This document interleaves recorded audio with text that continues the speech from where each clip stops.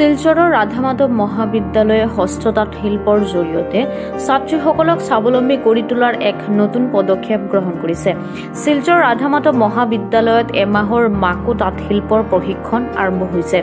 শিলচৰ ৰাধা মাধৱ মহাবিদ্যালয় মহিলা কোষৰ উদ্যোগত আৰু কাছাৰ জিলা হস্ততাঁত আৰু বস্ত্ৰ উদ্যোগ বিভাগৰ সহযোগত আয়োজন কৰা হয় এই প্ৰশিক্ষণ শিবিৰ। এমাহ চলিব এই প্ৰশিক্ষণ শিবিৰ। তাঁত শিল্প প্ৰশিক্ষণৰ জৰিয়তে ছাত্ৰীসকলে মাকুৰ ব্যৱহাৰৰ লগতে বিভিন্ন ধৰণৰ সামগ্ৰী বনোৱাৰ বিষয়েও জানিব পাৰিব। ইয়াৰ ফলত তেওঁলোকে স্বাৱলম্বী হোৱাৰ দিশত খোজ দিব পাৰিব। লগতে দেশৰ কৃষ্টি সংস্কৃতি আৰু পৰম্পৰা ধৰি ৰখাৰ ক্ষেত্ৰত গুৰুত্বপূৰ্ণ ভূমিকা ল'ব ছাত্ৰীসকলে।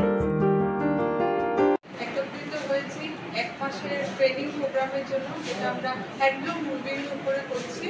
এখানে আমাদের ওমেন সেল রাধা মাধব কলেজের তরফ থেকে এই ট্রেনিং প্রোগ্রামটা করানো হচ্ছে। In collaboration with handloom department government of India এই প্রোগ্রামটার থেকে আমাদের ফিমেল স্টুডেন্টসরা খুব উপকৃত হবে। এই আশা নিয়ে এই উমেন এম্পাওয়ারমেন্ট যাতে